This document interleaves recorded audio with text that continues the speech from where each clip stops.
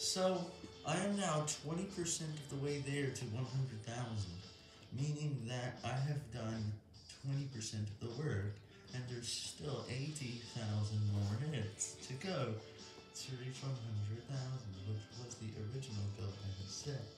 No more can be added though, since once it reaches past 100,000.